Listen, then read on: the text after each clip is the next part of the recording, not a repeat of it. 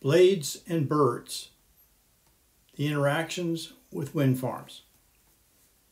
This is a faithfully rendered summary of the linked papers. The author of this presentation is not a subject matter expert, rather a reporter on a topic about which research has been done. I'm Robert Myers.